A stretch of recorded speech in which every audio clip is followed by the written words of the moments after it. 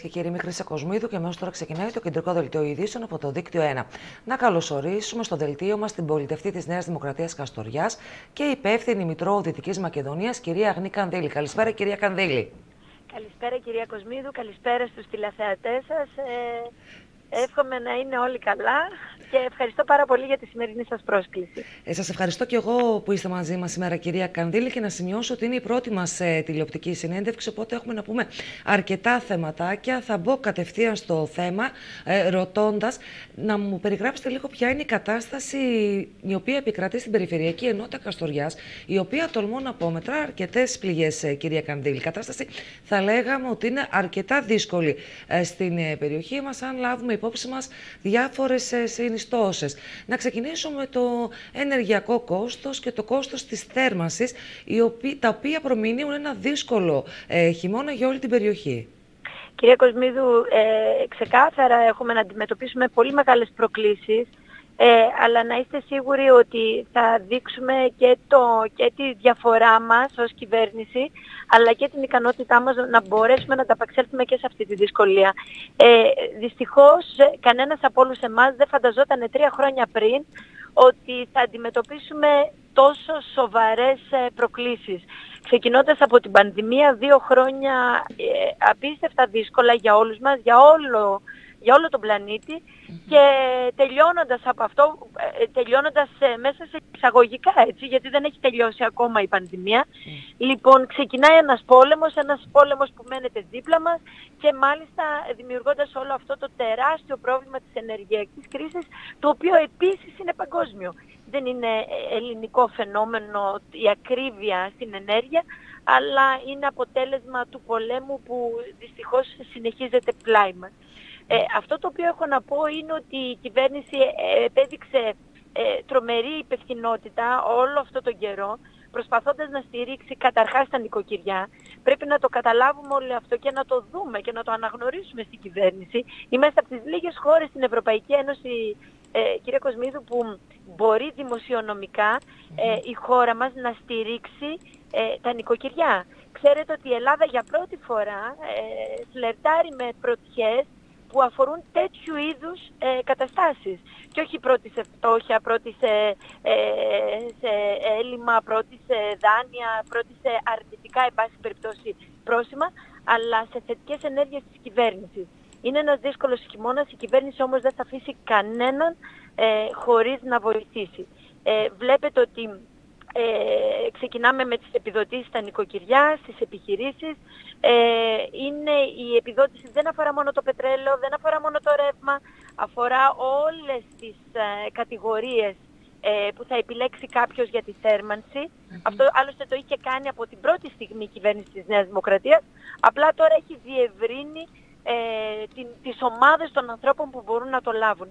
Και είναι πάρα πάρα πάρα πολύ σημαντικό αυτό. Θα μου πείτε, με επιδόματα δεν λύνεται, αλλά έχουμε να αντιμετωπίσουμε μια ενεργειακή κρίση. Δυστυχώς, μόνο με αυτόν τον τρόπο μπορούμε να το κάνουμε, όχι μόνο εμείς, αλλά και όλος ο αναπτυγμένος κόσμος που αντιμετωπίζει αυτό το πρόβλημα. Χώρες δίπλα μας, η Γαλλία, η Γερμανία, με σοβαρά θέματα, κύριε Κοσμίδου. Δεν είμαστε μόνοι μας αυτό. Mm. Αλλά ε, τουλάχιστον οι Έλληνες έχουμε τρομερό απόθεμα και στην ενέργεια αλλά και στα αγαθά που θα δείτε μέσα στο χειμώνα χώρες να αντιμετωπίζουν τέτοια προβλήματα που εμείς δεν θα έχουμε. Άρα ε, ε, ε, να είμαστε έτοιμοι να αντιμετωπίσουμε αυτό το δύσκολο χειμώνα, αλλά με μια ε, προοπτική ότι θα είμαστε στο πλευρό του Έλληνα πολίτη έτσι όπως πρέπει. Μάλιστα. Ε, κυρία Κανδύλη, υπάρχει λέτε προοπτική, αλλά δεν τη βλέπουμε προς το παρόν αυτή την προοπτική. Ξέρετε, Ξέρετε γιατί δεν ναι. τη βλέπουμε, κυρία Κοσμίδου; Θα σας πω γιατί δεν τη βλέπουμε. Καταρχάς, ο Έλληνας πολίτης για να καταλάβει τη διαφορά της, της, της δημοσιονομικής πολιτικής αυτή τη στιγμή που βρίσκεται η χώρα μας, για να την καταλάβει πρέπει να τη δει στο πορτοφόλι του. Σωστά; Ακριβώς. Λοιπόν, αυτή τη στιγμή δυσκολεύεται να το δει γιατί υπάρχει ε, ε, μία ε, ένα, πώς να το πούμε, ντόμινο ακρίβεια σε πάρα πολλά πράγματα λόγω της ενεργειακής κρίσης. Και ό,τι βοήθεια και να του δοθεί δεν μπορεί να τη δεις θετικά γιατί αγχώνεται για το τι καινούργιο θα έχει να αντιμετωπίσει. Αυτό και μόνο αρκεί για να είμαστε συνέχεια σε μια κατάσταση ανάγκης. Γι' αυτό δεν μπορεί να το δει, γι' αυτό δεν το καταλαβαίνει και γι' αυτό δεν το νοιάζει. Θέλει πρακτικά το πορτοφόλι του να του μένουν χρήματα να μπορεί να πάει και να ζεσταθεί. Τόσο απλά. Αυτό όμως τώρα που, που πρέπει να κάνουμε κυρία Κοσμίδου, πέρα από όλα τα άλλα που έχουν να κάνουν με τη βοήθεια της κυβέρνησης για αυτή την κρίση, για την αντιμετώπιση της κρίσης, Ναι. είναι να βοηθήσουμε τον τόπο μας να πάει και ένα βήμα παραπέρα, για να μπορέσουμε λίγο να τακτοποιήσουμε τους ανθρώπους και τις οικογένειες που ζουν εδώ, τους συμπολίτες μας, να είμαστε όλοι ικανοποιημένοι με τη δουλειά μας. Δουλειά χρειάζεται ο κόσμος. Ακριβώς κύριε Κανδύλη. Αυτό σημαίνει λοιπόν ότι θα πρέπει να δράξουμε τις ευκαιρίες των εργαλείων που, δι- που δίνεται, των χρηματοδοτικών εργαλείων. Είδατε προχθές βγήκαν ε, τα καινούργια προγράμματα που αφορούν ε, τον πρωτογενή τομέα.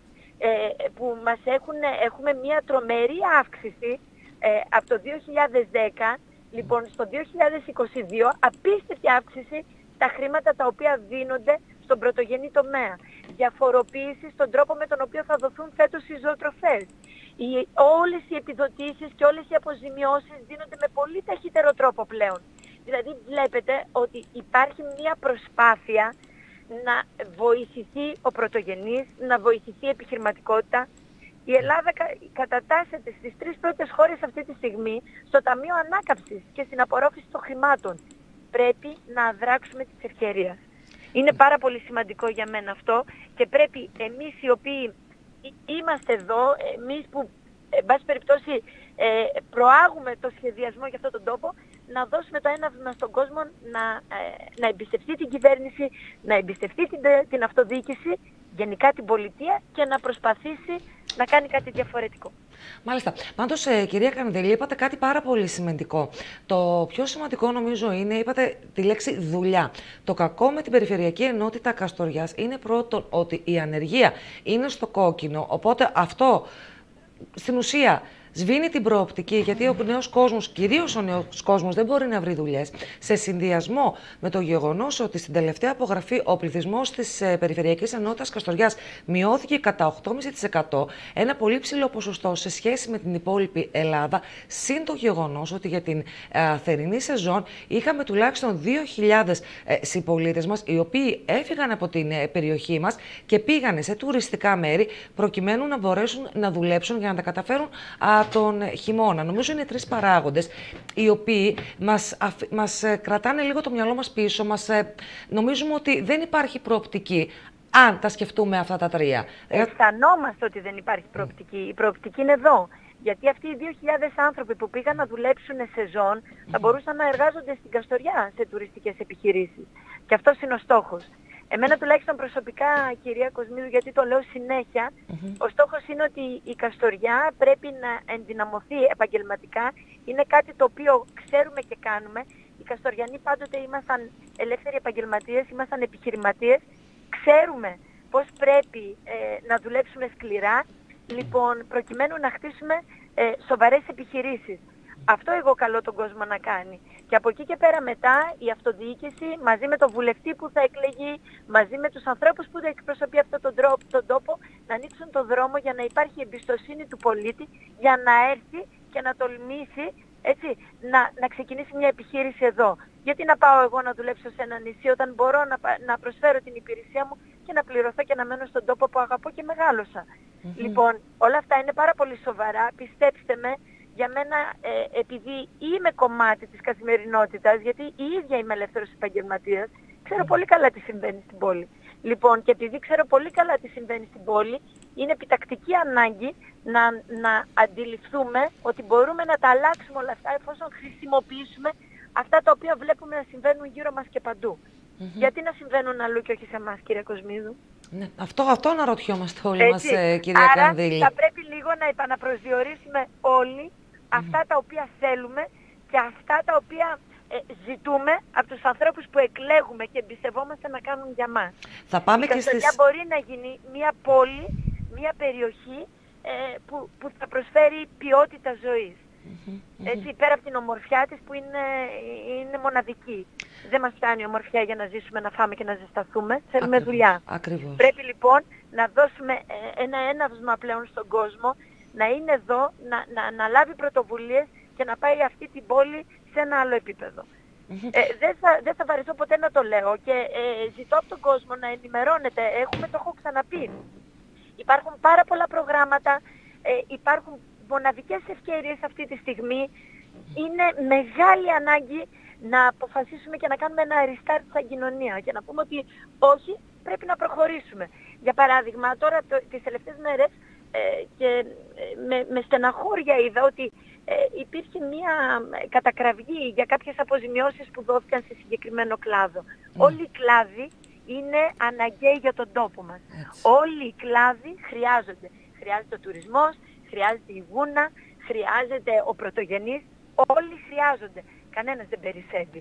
Όπου μπορούμε να δώσουμε, όπου μπορούμε να δώσουμε χρήματα, να λειτουργήσει, να κινηθεί το χρήμα στην αγορά και να μπορεί ο κόσμος ε, να ζήσει ε, και όχι αξιοπρεπώς, γιατί το αξιοπρεπώς δεν μας αρκεί, να ζήσει όπως πρέπει, λοιπόν πρέπει να δοθεί. Και πρέπει να το λαμβάνουμε με χαρά. Και εμείς και για τους άλλους και οι άλλοι για μας. Οπότε λίγο πρέπει να φύγουμε και από τη μιζέρια μας. Ε, λίγο να, να αρχίσουμε να βλέπουμε διαφορετικά το αύριο σε αυτόν τον τόπο.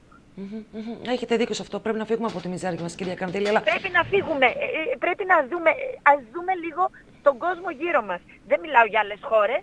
Έτσι. Ναι. Μιλάω για, τη, για την πατρίδα μας. Ακριβώς, ακριβώς. Δεν είναι τυχαίο που κάποιες περιοχές προχωράνε. Δεν μπορώ να ακούω ε, χαζά ότι δεν μας δίνει σημασία κανείς. Τι φταίει λοιπόν δεν κυρία έχει, Κανδύλη; Δεν έχει βγει καμιά ανακοίνωση που να λέει θα πάρετε εσείς επιδότηση και η Καστοριά εξαιρείτε. Κυρία, Κα... κυρία Κανδύλη, τι φταίει δηλαδή σε όλο αυτό; Ε, να βλέπουμε άλλες περιοχές να προχωρά, να πηγαίνουν ε, μπροστά. Δεν θα αναφέρω ε, συγκεκριμένες, μάλιστα αρκετές είναι και γειτονικά, είναι πολύ κοντά στην ε, Καστοριά. Βλέπουμε πολύ να προχωρά. Ναι, βλέπουμε να προχωράνε. Εδώ, γιατί δεν προχωράμε, γιατί αυτή η στασιμότητα, γιατί νιώθουμε ότι έχουμε αφαιθεί στο έλεος του Θεού, γιατί πραγματικά πολλοί το πιστεύουν αυτό. Προχθές, μάλιστα, είχαμε και συλλαλητήριο στις 5 Οκτωβρίου με τίτλο Η Καστοριά βουλιάζει, η Καστοριά εκπέμπει σως. Ακούει κανείς, νιώθουμε, νιώθουμε. Η πλειονότητα. Γιατί ακούει ο ένας τον άλλο στην Καστοριά, κύριε Κουσμίδη. Εγώ, εγώ θα, θα, θα κάνω την εξής ερώτηση. Ναι.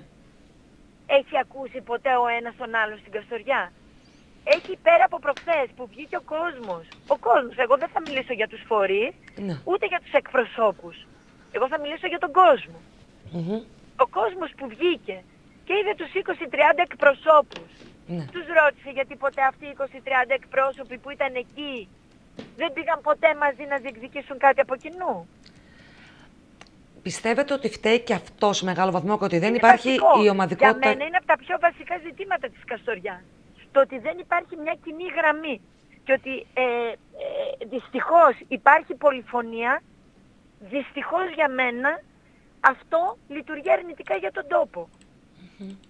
Ε, πιστεύετε δεν υπάρχει μαζικότητα, συλλογικότητα, ομαδικότητα, ότι ε, ο κάθε κλάδος, ο κάθε φορέας, το κάθε σωματείο διεκδικεί μόνο για το ίδιο, χωρίς να βλέπει συνολικά το ε, καλό ολόκληρης περιφερειακής ο, ο, ο κάθε φορέας είναι υποχρεωμένος να διεκδικήσει ναι. για αυτούς που εκπροσωπεί, κύριε Κοσμίου. Ναι. Αυτό είναι το σωστό. Ναι. Άλλοι είναι αυτοί που είναι ο συνδετικός κρίκος των φορέων και των ανθρώπων και των παραγωγικών ομάδων και ούτω καθεξής.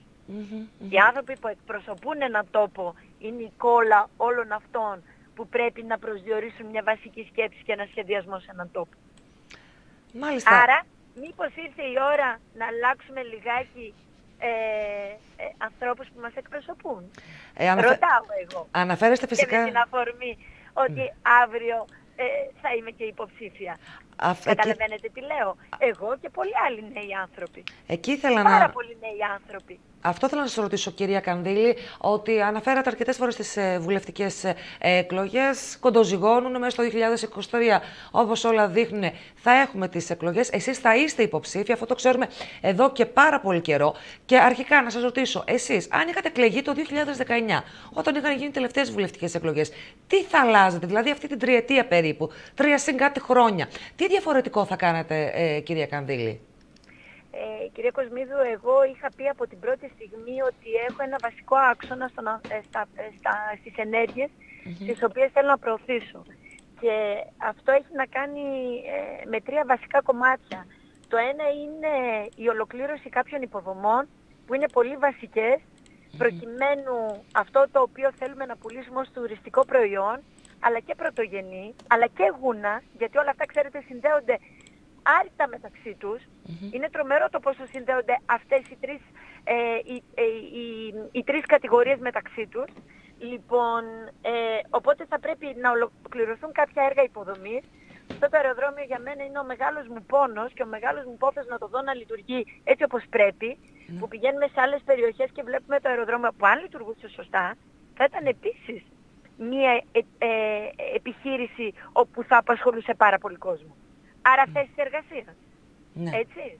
Λοιπόν, αυτό που θα, με, βο- που θα ήθελα να δω είναι πώς μέσα από αυτό, από τις υποδομές, θα ενισχυθεί ο κλάδος της γουνοποιίας και του τουρισμού και πώς θα βοηθηθεί ο πρωτογενής για να φτάσει το προϊόν της Καστοριάς παντού.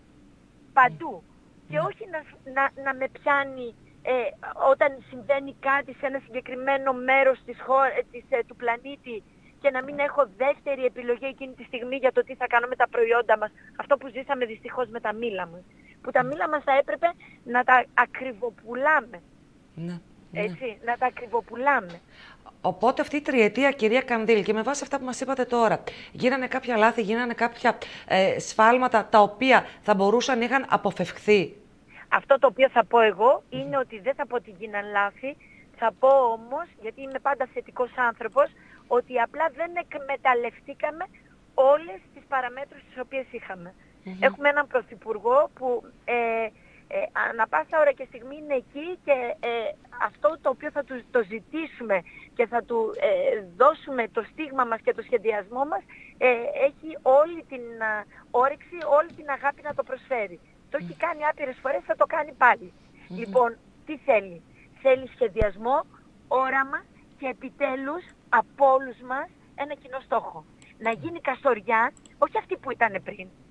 Όχι, να γίνει καλύτερη. Ναι, να μην Να γυρίσουμε. γίνει Ναι. Καστοριά της επόμενης μέρας Ναι. που θα μπορέσει να συνδυάσει πολλούς παραγωγικούς τομείς, που θα, αλλάξει τον προσδι- θα, θα, θα ξαναπροσδιορίσει την, α, την, α, την, α, την Δυτική Μακεδονία, ολόκληρη τη Δυτική Μακεδονία, γιατί αυτό κάναμε πάντα. Δεν θα είναι κάτι καινούριο για μας. Δεν θα είναι καινούριο για μας να φέρουμε κόσμο από τα πέρατα. Ναι. Έτσι δεν είναι. Ναι, ναι. Α, κυρία Κανδύλη, είπατε τι θα κάνετε εσείς αν είχατε εκλεγεί το 2019 στις επόμενες... υποδομή, ενίσχυση αυτών των τριών ε, τομέων, παραγωγικός τομέας, ο τουρισμός και η γουνοπία μαζί. Και η γουνοπία. Ναι, Ποτέ δεν θα την αφήσω. Μάθαμε πολλά από εκεί. Ακριβώς. Δεν είναι σωστό να γυρίσουμε την πλάτη. Έτσι. Πρέπει όμως να λειτουργεί παράλληλα και με τα άλλα. Ναι, ναι. ε, Και να όλ- αγαπήσουμε και τους τρεις τομείς έτσι όπως πρέπει. Και όταν γίνουν αυτά, κυρία Κοσμίδου, θα ενισχυθεί το πανεπιστήμιό μας, Μμμ. έτσι όπως πρέπει, γιατί θα συνδέεται άρρηκτα με την οικονομική ζωή του τόπου και θα έχει λόγο ο Έλληνας να έρθει να, να ε, σπουδάσει στην Καστοριά. Ναι, ναι. Λοιπόν, και αφού προχωρήσουμε και αυτό το επίπεδο, κυρία Κοσμίδου, θα φτάσουμε μετά να έχουμε έναν τόπο που θα δίνουμε κίνητρα στους ανθρώπους να έρθουν να ζήσουν εδώ. Και όχι να φεύγουν. Δεν αρκεί να βλέπω τη λίμνη το πρωί, κύριε Κοσμίδου. Ναι.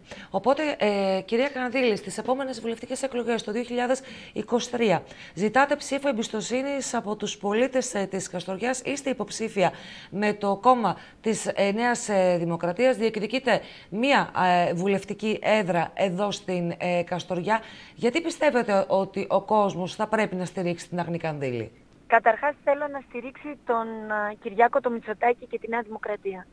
Γιατί έχει επιδείξει σε αυτά τα τρία, τρισήμιση πάρα πολύ δύσκολα χρόνια, ε, δύσκολα χρόνια για όλη την φίλη, όχι μόνο για την Ελλάδα, ότι όχι μόνο ανταπεξήλθε σε όλο αυτό που, που ζήσαμε, αλλά σταθερά είναι εκεί, με πολύ θετικό πρόσημο, έτσι, να, να, να στέκεται στο πλάι των Ευρωπαίων ηγετών και να αισθανόμαστε επιτέλους περηφάνεια.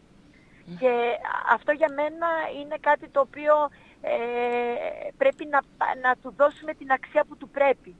Πρέπει να πάρει την αξία που του πρέπει και η κυβέρνηση και ο Κυριάκος ο μητσοτακης Γιατί υ- υπήρξε ε, καράβι σε φουρτούνα που μπόρεσε και άντεξε. Και θα αντέξει πάλι, κυρία Κοσμίδου. Όσον αφορά εμένα, αυτό που ζητώ από τον κόσμο είναι να επαναπροσδιορίσει τη σκέψη του, να ζητήσει από τους υποψήφιους όλους, ανεξαιρέτως, να τον κοιτάξεις στα μάτια τον κάθε ένα από αυτούς που θα έρθουν να μας ψηφίσουν και να πούμε τι θέλουμε να κάνουμε σε αυτόν τον τόπο. Ναι. Και να μην μείνουμε σε απλά καθημερινά πράγματα μόνο, αλλά να πάμε στο αύριο. Σε αυτά τα παιδιά που έχουν γεννηθεί, που έχουμε, έχουν μειωθεί οι εγγραφές στην πρώτη δημοτικού και δεν το έχουμε συζητήσει ποτέ, ότι τα παιδιά, οι οικογένειες οι καινούργιες, οι νέες δεν γεννάνε. Είναι, Έχουμε... Δεν, δεν, δεν γεννιόνται παιδιά. Έχουμε σοβαρό πρόβλημα. Ο τόπος μας μικραίνει, η πατρίδα μας συρρυκνώνεται και πρέπει να πάρουμε σπουδαίες αποφάσεις. Πάντως, ε, κυρία Κανδύλη, η αλήθεια είναι ότι όσο ώρα μιλάμε, βλέπω ε, την αισιοδοξία και στον τόνο της φωνής σας και σε αυτά που λέτε. Γιατί πραγματικά το, το, το καταλαβαίνετε κι εσείς ότι η κατάσταση είναι δύσκολη, ότι ο μέσος Έλληνας δεν μπορεί να, να ανταποκριθεί στις ανάγκες της ε, καθημερινότητας. Παρόλα αυτά, βλέπω την αισιοδοξία, το ξαναλέω, και στον τόνο της φωνής σας και στη σιγουριά των όσων λέτε. Άρα, με βάση αυτά που λέτε, υπάρχει ελπίδα, υπάρχει και η προοπτική. Μα κύριε Κοσμίδου, σε λίγο, σε λίγο καιρό οι συνταξιούχοι θα δουν ότι οι συντάξεις τους θα αρχίσουν σταδιακά να ανεβαίνουν. Θα δουν οριζόντια μέτρα αύξησης, ε, ο, οριζόντια ποσοστά αύξησης στις συντάξεις τους, όταν η κυβέρνηση του ΣΥΡΙΖΑ είχε 17 διαφορετικές περικοπές στις συντάξεις αυτών των ανθρώπων. Θα δούνε οι χαμηλοσυνταξιούχοι, χιλιάδες χαμηλοσυνταξιούχων, να μπαίνουν χρήματα επιτέλους στο λογαριασμό τους. Όλα θα γίνανε κυρία Κοσμίδου, γιατί κάποιος άνθρωπος στο τιμόνι αυτής της χώρας κατάφερε να δείξει αυτό που είμαστε. Και εργατικοί και συνεπείς. Δεν, δεν είμαστε παρείες της Ευρωπαϊκής Ένωσης. Και επιστρέψαμε εκεί που μας πρέπει. Και θα γίνουμε ακόμα καλύτερα. Αρκεί να το πιστέψουμε εμείς και να εκμεταλλευτούμε αυτά που συμβαίνουν γύρω μας. Γιατί θα το ξαναπώ. Α ανοίξουμε τα μάτια μας και ας δούμε τι συμβαίνει γύρω μας. Μήπως δεν ανοίγουμε τα μάτια μας, κυρία Κανδύλη, επειδή. και βάζω και τον εαυτό μου μέσα, δεν θέλω να πω δεν ανοίγουν ή δεν, δεν ανοίγεται. Βάζω όλους. Θα μιλάω, μιλάω πάντα στο Α ε, πληθυντικό. Είτε με εκφράζει κάτι, είτε όχι. Ε, Κυρία Κανδύλη, πιστεύετε ότι ο κόσμος ίσως έχει απογοητευτεί τόσο πολύ με όσα συμβαίνουν γύρω του και πλέον δεν έχει το κουράγιο να ψάξει, να δράξει την ευκαιρία; Δεν υπάρχει άνθρωπος που δεν έχει κουραστεί και όλοι έχουμε ρίξει αντοχές λόγω της κατάστασης που ζήσαμε. Βγαίνουμε από έναν COVID και μπήκαμε σε έναν πόλεμο. Αυτός όποιον και να το έλεγε, αν, αν το εμφανίζανε σε ταινία, θα γελούσαμε και θα λέγαμε ότι ακόμη και το Hollywood ξεπέρασε κάθε προσδοκία. Ε, ότι υπερβάλλουν και όμως τα ζούμε. Τα ζούμε. Εγώ δεν περίμενα ποτέ μεγαλώνοντας ότι θα βιώσω τέτοια πράγματα στα 43 μου χρόνια. Και όμως, και όμως, Απλά όμως κυρία Κοσμίδου υπάρχουν παιδιά που έρχονται από πίσω. Υπάρχουν γενιές που ακολουθούν. Και αν έχουμε μία ελπίδα για αυτόν τον τόπο είναι αυτά τα παιδιά. Και για αυτά τα παιδιά αν ανοίξαμε λίγο τα μάτια μας, πρέπει να τα ανοίξουμε ακόμα περισσότερο. Έτσι ακριβώς. Κυρία Κανδύλη, ε, εγώ θα ήθελα να σας ευχαριστήσω αρχικά πάρα πολύ για τον χρόνο που μας διαθέσατε και για την πρώτη τηλεοπτική συνέντευξη που ε, πραγματοποιήσαμε μέσα από το κεντρικό δελτίο ειδήσεων του Δίκτυο 1. Δεν ξέρω αν θέλετε να συμπληρώσετε κάτι και το οποίο παρέλειψα να σας το ρωτήσω. Ε, εγώ θέλω να ε, ευχηθώ σε όλο τον κόσμο πραγματικά υγεία, υγεία. και δύναμη. Έχουμε μπροστά μας πολλά να κάνουμε, αλλά θα είναι όλα καλά. Θα είναι όλα καλά εφόσον μπορέσουμε και ξεκαθαρίσουμε τις προτεραιότητες και τις ανάγκες μας. Είναι πάρα πολύ σημαντικό να βοηθήσουμε ένα τον άλλον, να δούμε απροκάλυπτα το μέλλον που έρχεται και να εκμεταλλευτούμε ό,τι συμβαίνει και ό,τι μας δίνουν. Ενωμένοι όμως. Θέλω να είμαστε ενωμένοι. Θέλω για μία φορά οι Καστοριανοί να δείξουμε ότι έχουμε πυγμή, ότι ε, έχουμε θέληση, γιατί έχουμε μυαλά, έχουμε επιστήμονες, έχουμε ανθρώπους που μπορούν να πάνε αυτόν τον τόπο ένα βήμα πιο μπροστά. Έχουμε ανθρώπους που δουλεύουν σκληρά τα χωράφια μας, ε, δηλαδή δεν μπορώ να διανοηθώ ότι δεν μπορούμε να, να εκμεταλλευτούμε τις συνθήκες και να πάμε λίγο καλύτερα. Εγώ ζητώ τον κόσμο να δώσει εμπιστοσύνη, να δώσει ψήφο εμπιστοσύνη στον Κυριάκο το Μητσοτάκη, θα είναι εκεί για τον κόσμο της Καστοριάς, να μην αισθάνεται παραγωνισμένος και να απαιτεί από τους εκπροσώπους της πόλης, του τόπου αυτού, να ξέρει ο Κυριάκος ο Μητσοτάκης τι συμβαίνει. Μάλιστα. Κυρία Κανδύλη, για ακόμα μια φορά σας ευχαριστώ πάρα πολύ για τον χρόνο σας. Σίγουρα θα έχουμε την ευκαιρία να τα πούμε και για άλλα θέματα και σε επόμενη συνέντευξη και πάλι σας ευχαριστώ. Σας ευχαριστώ από καρδιάς. Ε, πραγματικά όποτε θέλετε είμαι εδώ Με χαρά πάντα ακούω τον κόσμο, θέλω να απαντώ, θέλω να ξέρει ο κόσμος ποια είμαι, τι θέλω να κάνω. Και έτσι πρέπει με όλους όσους ασχολούνται με, με τα κοινά. Και ε, μία, ε, μία παράκληση, με αυτό θα ήθελα να κλείσω, επειδή θα έχουμε σύντομα εκλογές και ε, εθνικές αλλά και αυτοδιοικητικές, ο κόσμος να ασχοληθεί, να ψηφίσει καταρχάς, γιατί είχαμε πολύ μεγάλη αποχή την προηγούμενη Λοιπόν, θέλω να ψηφίσει ο κόσμος, κύριε Κοσμίδου, και επίσης να ασχοληθεί. Μην απαξιώνει ο κόσμος και οι νέοι άνθρωποι ε, τα κοινά, την αυτοδιοίκηση, το Δήμο, την περιφέρεια, να μην την απαξιώνει. Ίσα ίσα ο κάθε ένας από εμά μπορεί να δώσει ε, το δικό του, τη δική του βοήθεια και να πάμε λίγο καλύτερα. Μάλιστα. Να είστε, κα... να είστε καλά κυρία Κανδύλη, καλό σας βράδυ. Από καρδιάς. Καλό σας βράδυ. Ευχαριστώ πολύ, να είστε καλά. Συνέντευξη τύπου πραγματοποίησε ο βουλευτής Νέας Δημοκρατίας Φλόρνας Γιάννης Αντωνιάδης. Ο κύριος Αντωνιάδης μίλησε για τα μεγάλα θέματα που αφορούν την Περιφερειακή Ενότητα Φλόρνας, αλλά και για τις εξελίξεις των συναντήσεών τους στην Αθήνα. Έχουμε κάποια ευχάριστα νέα και βεβαίως μία μικρή ενημέρωση για κάποια μεγάλα θέματα τα οποία απασχολούν τους συμπατριώτες μας στο νομό Φλόρινας. Ξεκινάω με τα ευχάριστα νέα εγκρίθηκε, υπογράφηκε από τον Υπουργό τον κύριο Σκρέκα το ποσό των 200.000 για την αμοιβή του Τεχνικού Συμβούλου είναι αυτός ο οποίος θα δημοπρατήσει και θα παρακολουθεί τις μελέτες των αρδευτικών δικτύων της Βεγορίτιδας και της Σχηματίτιδας.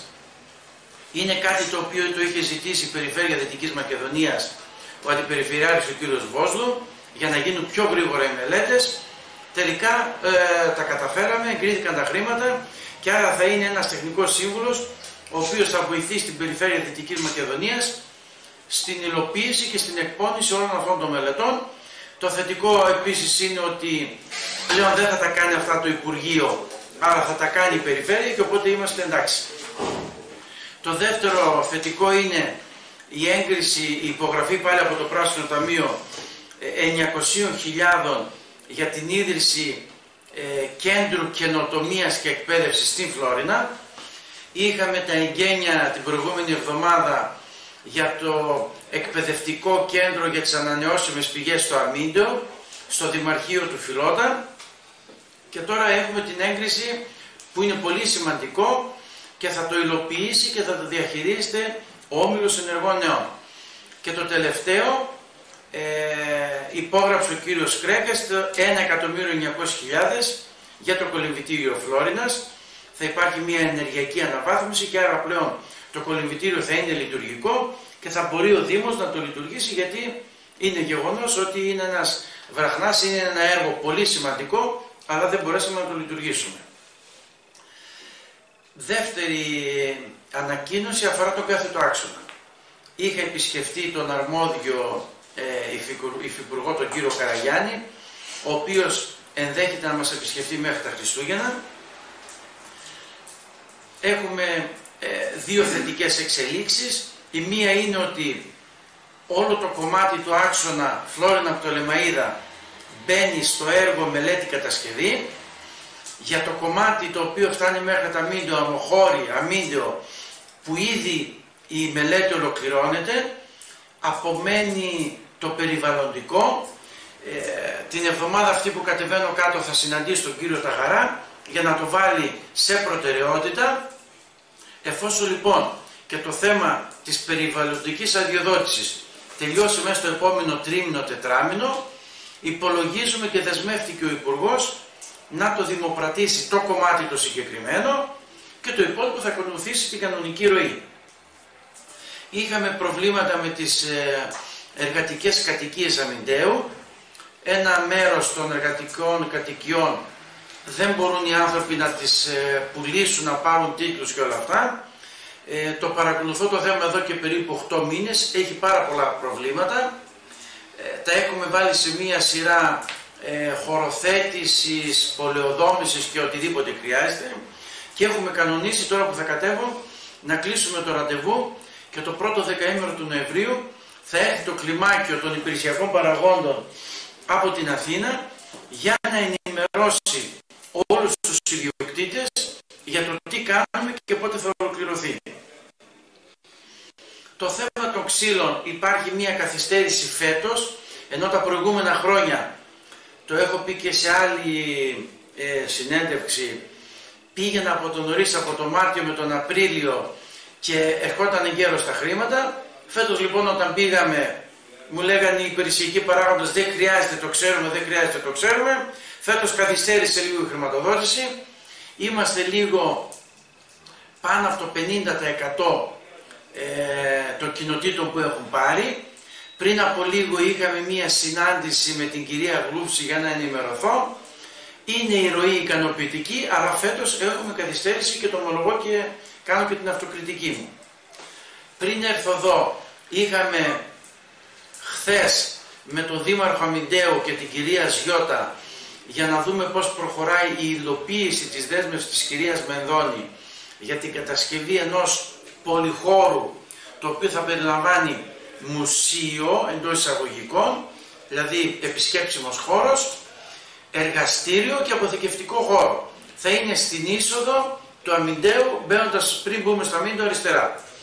Ε, είδαμε λοιπόν ε, τι γίνεται, αναλαμβάνει ο Δήμαρχος την μελέτη και εφόσον η μελέτη μέχρι την Άνοιξη είναι έτοιμη, Φεβρουάριο-Μάρτιο, η κυρία Υπουργός δεσμεύτηκε να το εντάξει. Σήμερα είχαμε την ίδια σύσκεψη και με τον Δήμαρχο Φλόρινας για το ανοιχτό θέατρο που θέλει να κάνει στο ποτάμι. Ε, έχει ήδη κάνει την ανάθεση για τη μελέτη. Ο Δήμαρχος δεσμεύτηκε όπως τον διαβεβαίωσαν μέχρι τέλη του έτους, το αργότερο τέλη Ιανουαρίου να είναι έτοιμη και η κυρία Μεδόνη υποσχέθηκε ότι θα μπει και αυτό το έργο για να κατασκευάσουμε ένα υπαίθριο ανοιχτό θέατρο.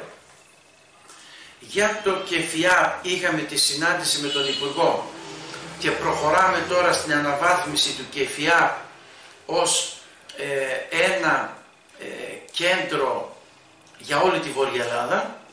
Έχει τον δρόμο του, θα ακολουθήσει σύσκεψη τώρα στην ε, Αθήνα πάλι που θα ξαναπάω για να δούμε πώς συνεχίζεται η υλοποίηση αυτής της υπόσχεσης και τελευταία είχα μία σύσκεψη χθες στο γραφείο μου με τους παραγωγούς μήλων ε, οι οποίοι έπρεπε στο προαθικό στάδιο είχε καταστροφές το 2021 τα κεράσια και τα ροδάκια να έχουν πάρει την αποζημίωση, τα μήλα της Φλόρινας όχι. Ο Υπουργός δεσμεύτηκε ότι θα μπουν μέσα και θα τα πάρουν. Υπολογίζουμε τέλη Οκτωβρίου με αρχές ε, Νοεμβρίου να έχουν δοθεί. Απομένουν πολύ λίγη παραγωγή για τα φουντούκια, για τα μίγδαλα, ε, τα μύρτιλα και ένας που έχει υποφαές να μπουν και αυτοί για να κλείσει και αυτή η πληγή. Είναι κάτι το οποίο το δικαιούνται οι, οι αγρότες μας, οι δέντροκαλλιεργητές για να μπορέσουν να πάρουν την αποζημίωση και τελευταία περιμένουμε το ραντεβού για τη ζημιά που είχαμε στις Πρέσπες σε συνεννόηση με την προϊσταμένη του ΕΛΓΑ έχουν γίνει ε, οι επιτόπιες ε, ε, επισκέψεις. Ε, ο ΕΛΓΑ αναγνώρισε ότι έχουμε το 100% της καταστροφής. Θα πάρουν το maximum που είναι περίπου 600 ευρώ αναστρέμα. Απλώς το πρόβλημά μας είναι ότι έχουμε καταστροφή και στα καλάμια και τώρα θα γίνει, επίκειται μία συνάντηση η οποία μάλλον θα γίνει στο τέλος της άλλης εβδομάδας, γιατί ο κύριος Γιωργαντάς θα λείπει εκτός Ελλάδος στις αρχές, για να βρούμε έναν τρόπο να αποζημιωθούν οι άνθρωποι για τα καλάμια. Λοιπόν, αυτά. Κύριε Τονιάδη, μας είπατε ότι σε ένα τετράμινο, πετάμινο θα δημοπρατηθεί το τμήμα του κάθετου από το ανοχώρι στο ψινό νερό. Ναι. Σε ποιο χρηματοδοτικό πρόγραμμα έχει ενταχθεί; Ωραία. Ε, αυτό ήταν η πρώτη ερώτηση που έκανα τον Υπουργό ο υπουργός μου είπε ότι έχει τρεις εναλλακτικές λύσεις, τρεις εναλλακτικές λύσεις.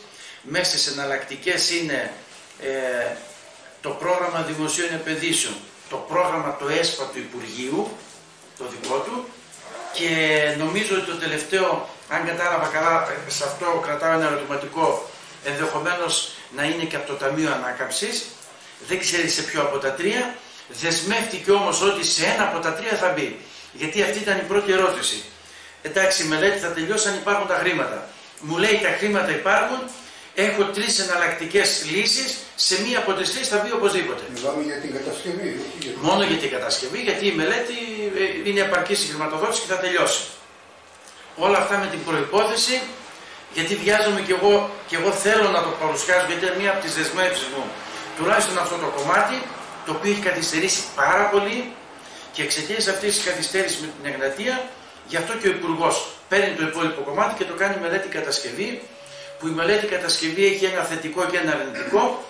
Το θετικό είναι ότι εκ των προτέρων είναι δεσμευμένα τα χρήματα για την κατασκευή. Και εφόσον τελειώσει η μελέτη δεν θα ψάχνουμε λεφτά, όπως γίνεται τώρα. Πάντως, του ζήτησα, ε, τον ρώτησα, μπορώ να ανακοινώσω ότι τα χρήματα υπάρχουν; Και μου είπε, μπορείς να το ανακοινώσεις, ε, ε, δεν δεσμεύομαι από τώρα ποιο πρόγραμμα θα είναι, αλλά έχω τρεις, προ, τρεις λύσεις, μία από τις τρεις θα υπάρχει.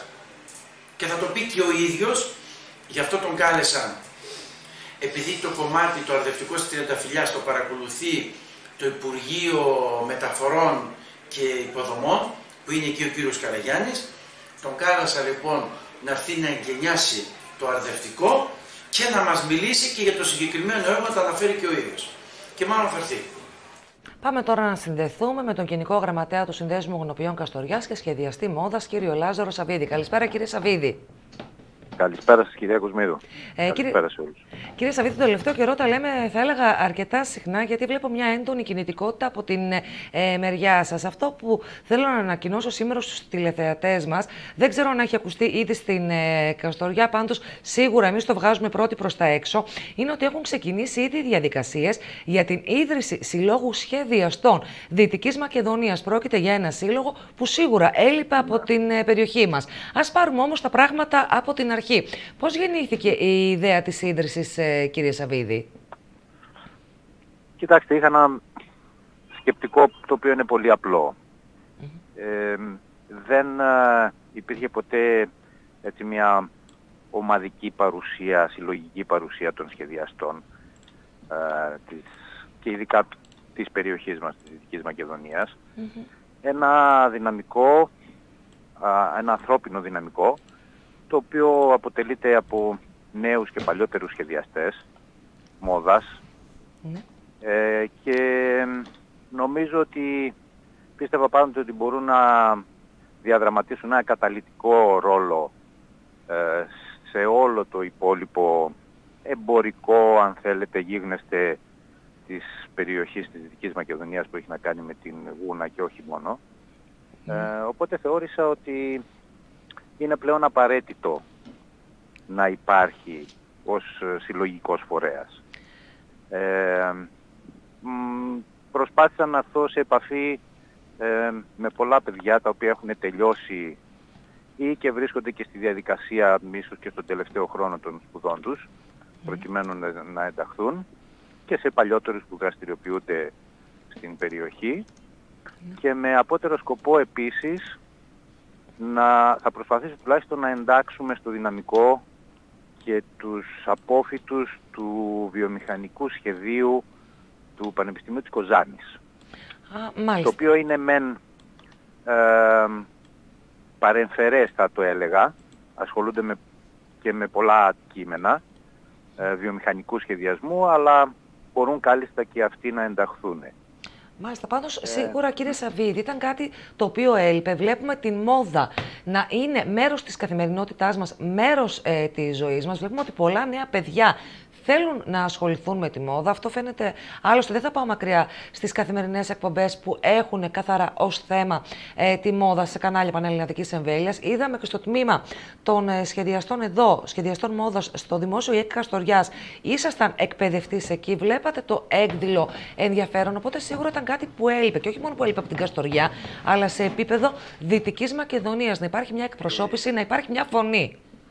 Κοιτάξτε, στόχος δικός μου τουλάχιστον είναι ε, τα παιδιά τα οποία ε, είναι της περιοχής, της ευρύτερης περιοχής Καστοριάς, Χιάτιστας, Κοζάνης, Φλόρινας και Γρεβενών φυσικά και που ασχολούνται και έχουν τη διάθεση να ασχοληθούν και επαγγελματικά στη συνέχεια ε, να μπορέσουν να βρουν μια αν θέλετε βοήθεια η οποία δεν υπήρχε έτσι σε, μονομε, σε μεμονωμένες δράσεις.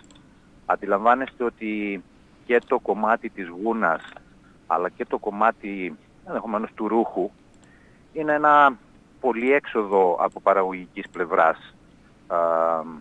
Ε, χρηματικά δηλαδή ε, δεν μπορεί εύκολα κάποιος να το αντέξει για να το υποστηρίξει. Ναι. Μέσα από έναν τέτοιον εντό εισαγωγικών φορέα, σύλλογο, αποκαλέστε το όπως θέλετε, θα δούμε πώς θα εξελιχθεί μετά από είναι αυτοί οι οποίοι θα συμμετέχουν και να βοηθηθούν οικονομικά μέσα από κάποιες χορηγίες, αλλά και μέσα από την υποστήριξη της Ομοσπονδίας και του Συνδέσμου Γνωπιών Καστοριάς, από όπου έχω πάρει τις διαβεβαιώσεις του κυρίου Τσούκα. Καθώς επίσης και από συζητήσεις που έχω κάνει και με τον κύριο Περιφερειάρχη ε, και με την κυρία Κοζατσάνη επίσης. Ε, είμαι σίγουρος ότι και ο Δήμαρχος, ο κύριος Κορετζίδης, ε, το θεωρώ τουλάχιστον από πλευράς μου δεδομένο ότι θα βοηθήσουν όσο μπορούν, προκειμένου να εξωτερικεύσουμε ακόμα περισσότερο το ταλέντο το οποίο υπάρχει. Ε, λείπουν οι ευκαιρίες. Νομίζω ότι μέσα από τέτοιες διαδικασίες θα μπορέσουμε να έχουμε τις ευκαιρίες να αναδείξουμε ακόμα περισσότερο το προϊόν το οποίο μπορούμε να προσφέρουμε προς τις αγορές του εξωτερικού. Μάλιστα. Ε, κύριε Σαββίδη, σε κάτι που είπατε προηγουμένως, με συγχωρείτε καταρχάς σας διέκοψα, δεν ξέρω να ολοκληρώσετε αυτό το οποίο λέγατε. Ε, ναι, οφείλω να ομολογήσω ότι και μέσα από τη διαδικασία του, του ΙΕΚ, ναι αλλά και με τις επαφές που κάνω το τελευταίο διάστημα ε, τουλάχιστον ενός χρόνου ε, προκειμένου να διακρίνω και τη διάθεση που υπάρχει από τα παιδιά ε, είδα ότι το ενδιαφέρον τους είναι εκδηλώ ότι είναι πολύ μεγάλο και το πιο σημαντικό για μένα είναι ότι τα προηγούμενα χρόνια που ασχολούμουν με τους σχεδιαστές έτσι σε συναδελφικό επίπεδο διαπίστωσα ότι εκείνο το οποίο είναι σημαντικό για κάποιον ο οποίος ε, είτε ξεκινάει να μπει σε αυτόν τον κλάδο του σχεδιασμού ρούχου, γούνας ε, και συναφών ειδών, ε, ε συναφών είναι αυτή η βοήθεια η οποία λείπει προκειμένου να πραγματοποιήσουν το οποιοδήποτε σχεδιαστικό τους ή επαγγελματικό τους όνειρο. Μάλιστα, οπότε βλέπουμε ότι υπάρχει και το ενδιαφέρον, κύριε Σαββίδη, μια συσπήρωση ε, δυνάμεων, θα τολμούσα ε, να πω, να είναι λίγο πιο οργανωμένη η κατάσταση, να νιώθουν και αυτά τα νέα παιδιά ότι υπάρχει κάποιος υποστηρικτής. Γιατί εσείς είστε ένας πολύ γνωστός σχεδιαστής μόδας εδώ και πάρα πολλά χρόνια. Στην, από την ε. Περιφερειακή Ενότητα Καστοριάς και σε όλο τον κόσμο, θα τολμούσα να πω. Οπότε σίγουρα θα υπήρχε και η καθοδήγηση από κάποιου από πιο έμπειρους ανθρώπους. Θα, θα σας πω το εξής. Ε, δεν αρκώ εγώ το ότι ε, συσπηρώνω και ε, οργανώνω αν θέλετε μια, τέλος πάντων έναν σύλλογο, μια ομαδική Το πιο σημαντικό στην όλη υπόθεση κυρία Κοσμιδού είναι να μπορέσουν, μάλλον να θελήσουν να τους εμπιστευτούν οι, οι, οι παραγωγοί. Αυτοί οι οποίοι έχουν την, αν θέλετε, τη δύναμη ε, την οικονομική και μάλιστα αναγνωρισμένο είναι ότι είναι και δύσκολες οι περίοδοι, ναι. αλλά στις δύσκολες περιόδους πρέπει να εμπιστευόμαστε ανθρώπους οι οποίοι έχουν ένα ταλέντο στο μυαλό τους και στο χέρι τους ε, για να μπορέσουν να, να πάνε ένα βήμα παραπάνω όλοι μαζί ναι. και ο καθένας χώρια. Μάλιστα. Ε, πιστεύω ότι ε, σιγά σιγά αν θα τους εμπιστευτούν σε διάφορες ε, φάσεις της παραγωγικής τους διαδικασίας, ε, θα μπορέσουν να, να κάνουν πολλά πράγματα.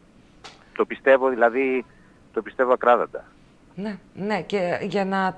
Είμαι σίγουρη, ε, κύριε Σαββίδη, ότι το πιστεύετε ακράδαντα αυτό. Αλλιώς δεν θα μπαίνατε σε όλη αυτή τη διαδικασία ε, να, να, με την ίδρυση του συλλόγου να βοηθήσετε αυτά τα νέα παιδιά. Γιατί δεν είναι μια εύκολη ε, διαδικασία η ίδρυση ενός συλλόγου. Απαιτεί όραμα και όρεξη ε, βοήθειας προς όλους τους συμμετέχοντες στο σύλλογο. Ε, έχουμε πάρει πολύ κολακευτικά σχόλια από τους επισκέπτες κατά τη διάρκεια της ε, παρουσίασης που κάναμε στο Ντολτσό, στο, στο αρχοντικό, αν θυμάστε. Βεβαίως. Ε, και επίσης και πολύ ενθαρρυντικά σχόλια ε, από πολύ κόσμο και από την προηγούμενη παρουσία που κάναμε ε, κατά τη διάρκεια της έκθεσης τον Αύγουστο, αλλά και τώρα. Ε, αναφέρεστε στην, ε, στο Food Shopping Festival που είχατε πάλι περί, περίπτερο, κύριε Σαββίδη. Ακριβώς. Mm Συγχρόνως δε είχαμε και μια άλλη ε, παρουσία. Ε, σκέφτηκα ότι πέρα από το ρούχο το οποίο μπορούσαν να παρουσιάσουν οι σχεδιαστές, ε, είχα μια συζήτηση με τον Βασίλη τον Παπάζογλου και έγινε και μια έκθεση φωτογραφίας με θέμα τη Γούνα, ε, πιστεύοντας ότι όποιο στοιχείο α, πλουτίζει την έκθεσή μας ε, δίνει και μια τελείως νέα και διαφορετική εικόνα ε, της Καστοριάς, της Χιάτιστας, της Γουνοποίησης τέλος πάντων προς τα έξω. Μάλιστα. Ε, ναι. Νομίζω ότι ήταν αξιόλογη και η παρουσία ε, παιδιών της φωτογραφικής λέσχης και ε, διάφορων ερασιτεχνών ε, φωτογράφων. Είναι πάρα πολύ θετικό, κύριε Σαββίδη. Ε, πραγματικά εσείς εκπροσωπείτε και τον Σύνδεσμο Γουνοποιών Καστοριάς, καθώς είστε γενικός γραμματέας ε, του Συνδέσμου, να βλέπουμε τόσες παράλληλες ε, δράσεις να υλοποιούνται ε, ταυτόχρονα με μία έκθεση, γιατί και το Fruit Shopping Festival στην ουσία μία έκθεση είναι και να δίνετε την ε, δυνατότητα, την ευκαιρία, το boost, την προώθηση σε όλο αυτόν τον νέο κόσμο που δραστηριοποιείται εδώ στην περιοχή μας, εδώ στην ε, Καστοριά. Ε, μέχρι τώρα, κυρία Κοσμίδου, ε, να σας πω ότι έχουν ε, υπογράψει 20 άτομα τουλάχιστον προκειμένου για την ίδρυση. Ναι. έχω μιλήσει και με, τον, με την νομικό σύμβουλο του, της Ομοσπονδίας, την κυρία Συνάνη, προκειμένου να μας βοηθήσει στην, στο καταστατικό το οποίο πρέπει να γίνει. Ναι. Απλά εκεί χρειάζεται κάποιες ε, συζητήσεις οι οποίες μπορεί να πάρουν ας πούμε κάποιον, κάποιον χρόνο ναι. προκειμένου να ολοκληρωθεί το όλο σκεπτικό και να προχωρήσουμε μετά στην ε, επίσημη ε, ίδρυση. Το θετικό είναι, κύριε Σαββίδη, ότι έχει μπει, θα μου επιτρέψετε να χρησιμοποιήσω μια λαϊκή ρίση, έχει μπει το νερό ε, στο αυλάκι, είμαστε στην τελική ευθεία. Ε, τολμώ να πω, έχει, υπάρχει ενδιαφέρον, υπάρχετε εσείς που το τρέχετε. Ε, ναι. Και η επόμενη, πιστεύω, γιατί επαναλαμβάνω, κάνουμε πολλές συζητήσεις με τα παιδιά.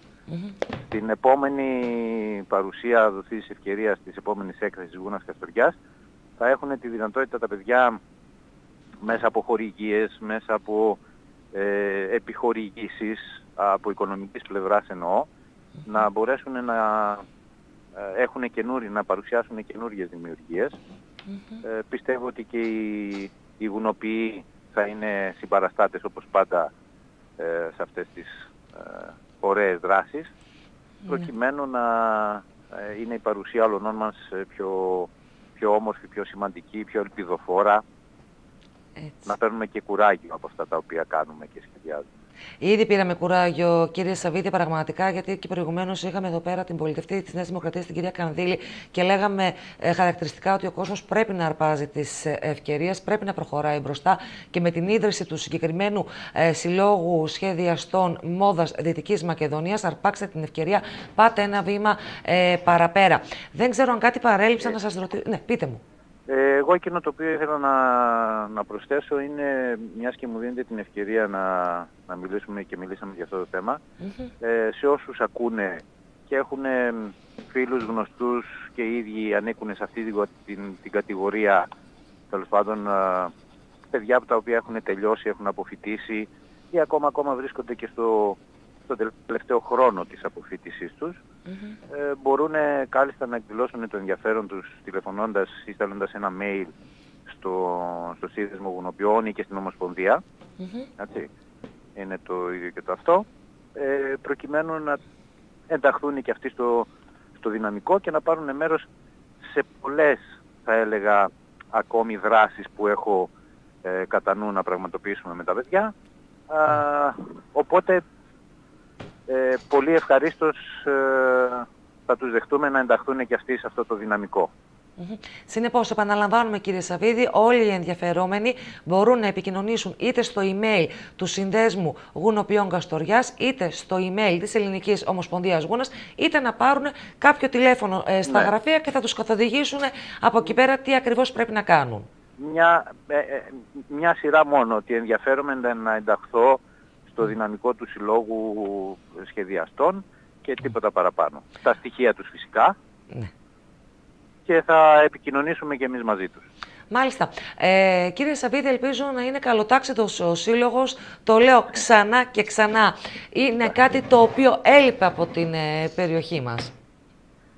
Ε, σας ευχαριστώ πολύ για, την, για το χρόνο σας. και ε, υπόσχομαι και εγώ και εκ μέρους και των παιδιών ότι τα επόμενα θα είναι ακόμη καλύτερα. Το ευχόμαστε όλοι κύριε Σαββίδη. Σας παρόλες, τις, παρόλες τις δυσκολίες που υπάρχουν. Έτσι πρέπει να κοιτάμε με αισιοδοξία και ελπίδα κύριε Σαββίδη. Και πάλι σας ευχαριστώ πάρα πολύ για το χρόνο σας. Εγώ σας ευχαριστώ κυρία Κοσμίδου. Να είστε καλά. Καλό σας βράδυ. Καλό βράδυ για σας. Ο Περιφερειάρχης Δυτικής Μακεδονίας Γιώργος Κασαπίδης και ο Δήμαρχος Κοζάνης Λάζαρος Μαλούτας, κατά τη διάρκεια κοινή συνέντευξης τύπου που παραχώρησαν, απάντησαν μεταξύ των άλλων και για την παιδιατρική κλινική του Μαμάτσιου Νοσοκομείου.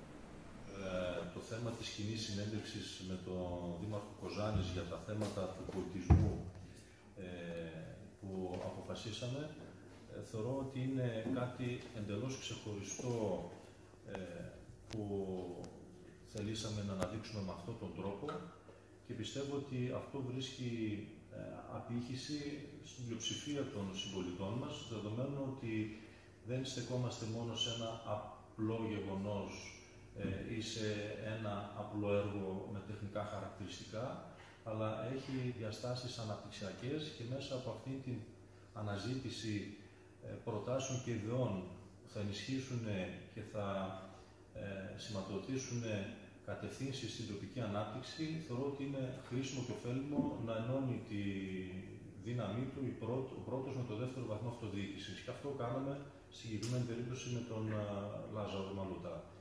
Ω προς την διάσταση για το θέμα της υγείας, να πω τουλάχιστον στα θέματα ε, που έχουμε πάρει αποφάσεις και έχουμε κάνει κάποιες ενέργειες ως ε, περιφέρεια για να στηρίξουμε τον τομέα της υγείας. Επιθυμίσω ότι έχουμε διαθέσει συνολικά πάνω από 50 εκατομμύρια ευρώ τα τελευταία τρία χρόνια ε, από τους πόρους της περιφέρειας για όλα τα νοσοκομεία, για όλες τις μονάδες υγείας της περιφέρειας και για το μαμάτσιο νοσοκομείο. Ε, κάθε μήνα που κάνουμε τον απολογισμό μας ε, και παρακολουθούμε το τεχνικό μας πρόγραμμα, τα συζητάμε και με τους χωρικούς αντιπεριφερειάρχες και με τους θεματικούς στα θέματα ε, των συγκεκριμένων κλάδων, έτσι και στο θέμα της υγείας και με την Κατρίνα τη Δεδαμόγια. Ε, έχουμε κάνει κάποιες ε, συναντήσεις και με τον προηγούμενο διοικητή και με τον κύριο Μπογιατζίδη. Έχουμε στείλει και τα σχετικά έγγραφα που επισημάναμε αυτή την αναγκαιότητα για την στελέχωση τη παιδιατρική. Έχουμε πάρει μια υπόσχεση από τον κύριο Μπογιατζίδη ε, και είναι γνωστό, όπως είπε και ο Λάζο Μαλούτα, ότι αυτό το πρόβλημα με την παιδιατρική δυστυχώς είναι από αυτά που χρονίζουν και όχι μόνο στο Μαμάτσο, αλλά γενικότερα σε αρκετά και σε άλλα νοσοκομεία της περιφερειάς μας και προσπαθούμε ε, να ε, πετύχουμε αυτά τα επιπλέον κίνητρα για τους γιατρούς εδώ στη Δυτική Μακεδονία, επιπλέον των κινήτρων που ως περιφέρεια τουλάχιστον διαθέτουμε μέσα από ένα σημαντικό κονδύλι που και εμείς συνεχίζουμε να αποδαπανούμε από τον τοπικό πόρο αλλά και από τους ΚΑΠ για όλα τα νοσοκομεία της περιφέρειας για να προσελκύουμε γιατρούς και δι τους επικουρικούς στην ε, Δυτική Μακεδονία. Ε, αλλά ε, και επιπλέον να δοθούν κίνητρα ε, θεσμικού χαρακτήρα από το, την κεντρική κυβέρνηση για να είναι πιο ελκυστικά τα νοσοκομεία της περιφέρειας και ειδικότερα της Δυτικής Μακεδονίας. Επιπλέον, δεν να πω ότι μέσα από ένα ξεχωριστό κονδύλι που διαθέσαμε από το ΠΕΠ πάλι στο πλαίσιο της πανδημίας του COVID, 5,5 εκατομμύρια ευρώ διατίθενται και χρηματοδοτούνται μέχρι και σήμερα 95 επικουρικοί γιατροί επιπλέον για τα νοσοκομεία της Δυτικής Μακεδονίας. Άρα ε, θεωρούμε ότι έχουμε ε, κάνει πολύ ε, σημαντικές ενέργειες προς την κατεύθυνση αυτή, ε, αλλά ε, η τελική απόφαση για να δοθούν επιπλέον κίνητρα είναι ε, της κεντρικής κυβέρνησης. Δεν θα πάψουμε ωστόσο να ε, επισημαίνουμε αυτή την αναγκαιότητα όπως και σε άλλες ειδικότητες ε, και θα το συνεχίσουμε μέχρι να πετύχουμε ακόμα καλύτερα αποτελέσματα. Ότι η υποστελέχωση του Μαμάτσο είναι ε, μια ιστορία παλαιά και επαναλαμβανόμενη. Δεν είναι κάτι που προέκυψε τώρα τον, τον, τους τελευταίους μήνες και η υποστελέχωση δεν αφορά μόνο την, ε, την παιδιατρική, αφορά γενικότερα ε, όλο το Μαμάτσο νοσοκομείο. Έτσι, να θυμίσω ότι το Μαμάτσο νοσοκομείο είναι το μοναδικό στη Δυτική Μακεδονία το, το οποίο δεν είναι ενταγμένο στις προβληματικές περιοχές όπως είναι οι άλλες υγειονομικές μονάδες της περιφέρειας. Ε, αυτό που θέλω να ξεκαθαρίσω καταρχήν είναι το εξής. Στο Δημοτικό Συμβούλιο Κοζάνης έχουμε την ευκαιρία κατά διαστήματα να συζητούμε επανειλημμένα όλα τα θέματα και τα οποία δεν χρειάζονται να τα λέμε σε συνεντεύξεις τύπου. Στις συνεντεύξεις τύπου έχουμε, ε, τις κάνουμε για να ε, ενημερώσουμε τους πολίτες ή να καλέσουμε τους πολίτες ή να, να αναδείξουμε ένα ε, ιδιαίτερο γεγονός. Ε, Όπως είπα, η ιστορία της υποστελέχωσης του νοσοκομείου είναι παλαιά και επαναλαμβανόμενη. Θυμίζω το ότι το πρώτο διάστημα της, ε, που ήταν ε, Δημοτική Αρχή η, η παράταξη Κοζάνης τόπος να δεις, με πρόταση της ενότητας και της παράταξης που ηγείτο ο κύριος ε, Μπουτζικώστας, έγινε το Παγκοζανίτικο Συλλαλητήριο στην ε, Κεντρική Πλατεία για τα θέματα υγείας. Πάμε περίπου 8-9 χρόνια πριν, το 2014-2015. Άρα το ενδιαφέρον μας για την υγεία είναι, ε, είναι πολλαπλώς, και δε, πολλαπλώς εκφρασμένο και δεδομένο. Ε, σημαντική εξέλιξη αυτή ήταν η, η μελέτη που αναθέσαμε και είχαμε την ευκαιρία να την παρουσιάσουμε και να τη συζητήσουμε στο Δημοτικό Συμβούλιο για την, ανα, για την ανάγκη ε, δημιουργίας νέας υγειονομικής μονάδας στον κόπο της Ελληνοτίας, μια συζήτηση από την οποία η παράταξη του κ. Κοζιάκη ε, έβρισκε προφάσεις για να κρυφτεί πίσω από το δάχτυλό της και να μην επικροτήσει την πρωτοβουλία της Δημοτικής ε, Αρχής. Ε, πέρα από αυτό, οι, ε, οι, οι, αφορμές με τις οποίες, μάλλον η, η στήριξη του Δήμου Κοζάνης προς το Μαμάτσο είναι πολλαπλώς και επιμακρών στο παρελθόν εκφρασμένη έμπρακτα. Ε, από εκεί και πέρα το, η, τα ζητήματα της υγείας, αυτό που πρέπει να ξεκαθαρίσουμε, ε, είναι ε, ζητήματα που αφορούν την κεντρική πολιτεία και όχι την τοπική ε, αυτοδιοίκηση. Η... Και βεβαίως, όπως έκανε και άλλες φορές ο κ. Κουζάκης, θα μπορούσε το, την, αυτά τα αιτήματα να τα δώσει και σε μια βουλευτήνα του κόμματος το οποίο ανήκει, να κάνει μια επερώτηση στη Βουλή για να πάρει έγκυρες απαντήσεις από τον Υπουργό Υγείας, ο οποίος είναι αρμόδιος για την ε, την υγειονομική πολιτική στη χώρα μας. Στο σημείο αυτό ολοκληρώθηκε το δελτίο μας. Να έχετε ένα όμορφο βράδυ.